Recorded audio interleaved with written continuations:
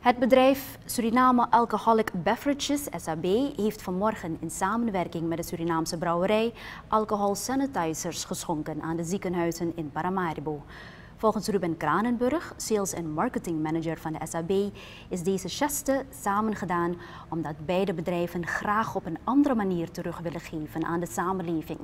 Het idee om een donatie te doen is op de eerste plaats geboren vanwege het COVID-19-virus en de grote behoefte aan sanitizingproducten, zegt Kranenburg.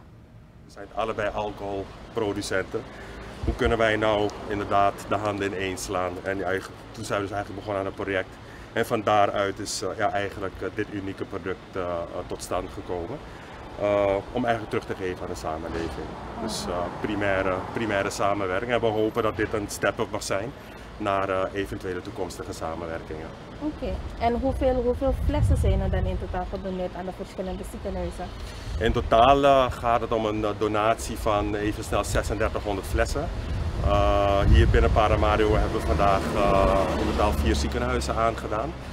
Evenredig verdeeld 900 flessen per, per, per ziekenhuis.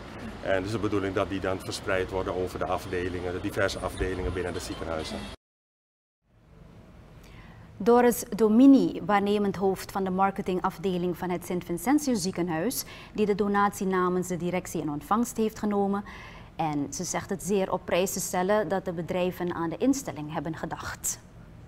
Want uh, nu is het uh, in, uh, nationaal dat er een tekort is aan PPI's. Um, en we vinden het heel goed dat ze aan ons hebben gedacht en dat ze ons deze donatie hebben gedaan.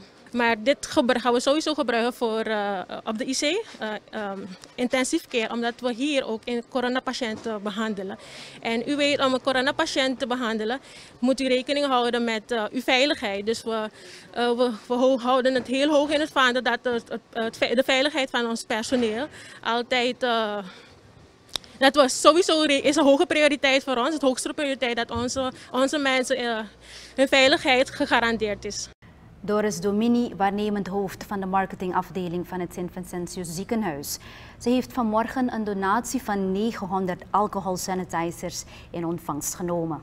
Deze zijn geschonken door de SHB in samenwerking met Parbo Bierbrouwerij. Het AZP, Sans Hospitaal en het Diakonessenhuis hebben ook 900 flessen ontvangen.